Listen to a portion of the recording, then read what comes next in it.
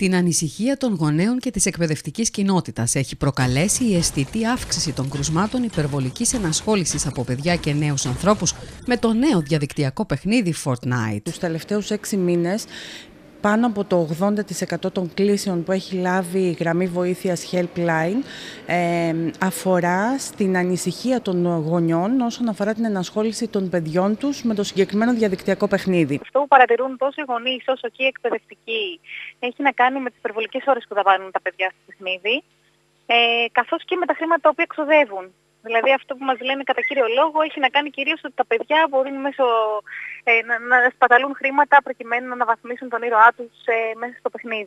Υπάρχουν προφανώς, θεωρούμε, αυξητικές τάσεις έτσι όπως το βλέπουμε και εμείς μέσα από την εκπαιδευτική πραγματικότητα όσον αφορά στη χρήση ε, του διαδικτύου και κατ' επέκταση των ε, παιχνιδιών. Το συγκεκριμένο παιχνίδι που έχει παγκοσμίως περισσότερους από 125 εκατομμύρια παίκτες, στη φιλοσοφία του στηρίζεται μεν στη βία, καθώς θα πρέπει να σκοτώσεις τους αντιπάλους σου με όπλα για να νικήσεις. Ωστόσο, δεν προβάλλει βίαιες εικόνες με αίμα. Παίζεται παντού και σε κονσόλες παιχνιδιών και σε υπολογιστές και σε τάμπλετ και σε κινητά. Οι πίστες είναι πάρα πολύ μικρές με αποτέλεσμα ε, να μην μπορείς να ξεκολλήσεις. Παίζεις με παρέα, οπότε είναι πάρα πολύ δύσκολο να αποχωρήσεις ε, σε ένα συγκεκριμένο χρονικό διάστημα. Όταν ένα παιδί ή ένα άτομο παίζει αυτά τα παιχνίδια, στον οργανισμό του εκρήγνεται το παμίνι. Είναι μια ουσία η οποία μας κάνει να νιώθουμε ευτυχισμένοι, ευχαριστημένοι.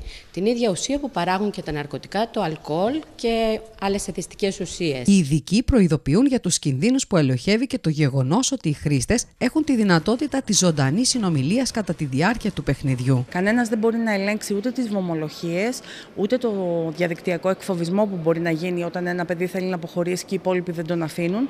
Ε, και ο κυριότερος κίνδυνος είναι η επαφή με αγνώστους. Δεν μπορούμε να ελέγξουμε ε, ποιος θα έχει επαφή ε, με το παιδί μας ε, την ώρα που ε, εμείς νομίζουμε ότι παίζει ένα διαδικτυακό παιχνίδι. Σε εγρήγορση θα πρέπει να είναι οι γονείς, ωστόσο γενικότερα σε ό,τι αφορά τη χρήση του διαδικτύου, καθώς ενώ οι απειλές ανανεώνονται διαρκώς, οι κίνδυνοι παραμένουν σταθεροί. Βλέπουμε ότι κατά καιρού τα παιχνίδια αναλλάσσονται.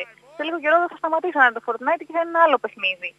Άρα καλό είναι η ματιά μας να είναι συγκεντρωμένη στο πώς το διαδικτυακό παιχνίδι και η τεχνολογία εν γέννη ε, εισάγεται στη ζωή των παιδιών. Δεν μας ενδιαφέρει τόσο αν είναι το Fortnite ή κάποιο άλλο διαδικτυακό παιχνίδι τύπου μπλε φάλαινα που είχαμε στο παρελθόν, όσο μας ενδιαφέρει γιατί τα παιδιά μας τελικά εθίζονται. Όπως τονίζουν οι ειδικοί, ο καλύτερος τρόπος για να αντιμετωπίσουν οι γονείς ένα τέτοιο θέμα είναι αφενός να αποκτήσουν ψηφιακή παιδεία και αφετέρου να θέσουν από νωρίς τα όρια στη χρήση του διαδικτύου. Αυτό που χρειαζόμαστε είναι ψηφιακή παιδεία.